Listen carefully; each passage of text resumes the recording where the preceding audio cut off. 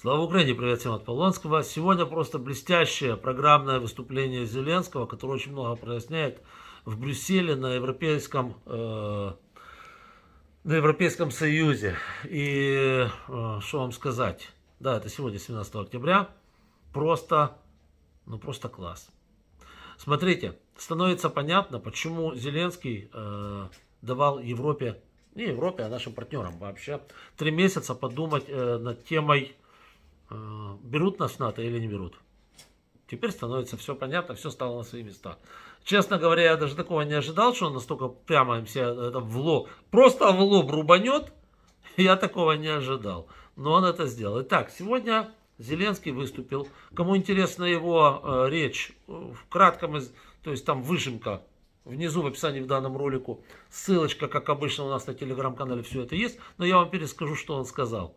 Сказал он следующую вещь очень интересную. Смотрите, э, договора с Россией э, по нашей безопасности работают? Нет. Договора с нашими партнерами о нашей безопасности работают? Нет. Договора наших партнеров с Россией о безопасности Украины работают? Тоже не работают. Ничего не работает. Э, ядерное оружие в Украине есть? Нет, мы его отдали вот за эти договора. У нас его тоже нет. Э, в НАТО нас пока никто не берет.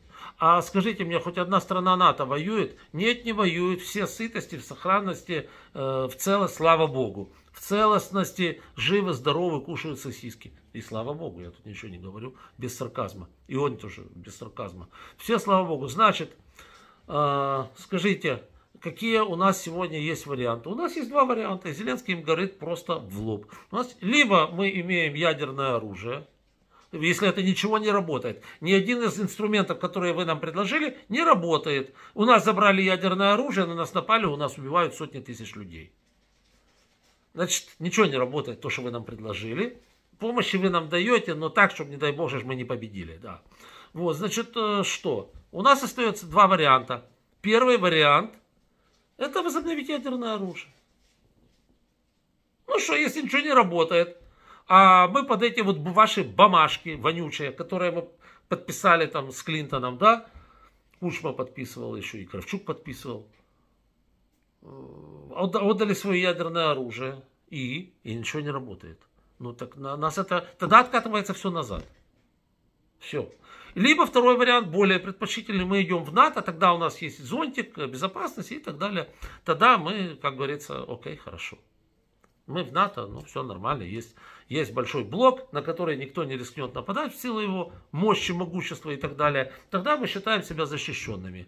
Пожалуйста, у вас есть время. Вот теперь становится понятно, почему, о каких именно трех месяцах говорил Зеленский, э, обращаясь к нашим дорогим партнерам э, по поводу нашего решения о вступлении Украины в НАТО. То есть тут идет, я так понимаю, я так понимаю, это не слова Зеленского, это я так понимаю себе что если в течение трех месяцев нет понятного срока вступления Украины в НАТО, соответственно, будет понятный срок возобновления нашего ядерного статуса. Тем паче, что ядерное оружие и средства доставки ядерного оружия, где производились, правильно, в том числе и в Украине. Спецы есть, оборудование есть, умение есть.